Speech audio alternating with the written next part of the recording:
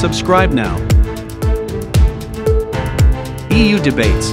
Of course, we cannot uh, ourselves uh, comment on the plans of the Czech uh, presidency or any specific date for an extraordinary meeting of energy ministers. As to the uh, other questions uh, regarding uh, markets and caps, Tim, anything to add? Hi, Stefano. No, I think there's there's nothing to add to, uh, to the answer I gave a, a, couple of minutes ago to, to Fred in terms of the work that's ongoing on, on price caps. And then in terms of the possible extraordinary energy council, as Dana has just said, that's the prerogative of the presidency to call such a meeting, and the commission is always available and ready um, when when requested by the member states and participates in those councils and and brings its uh, its its contribution to the table. Thank you, Tim. Are there any additional questions on energy for us today?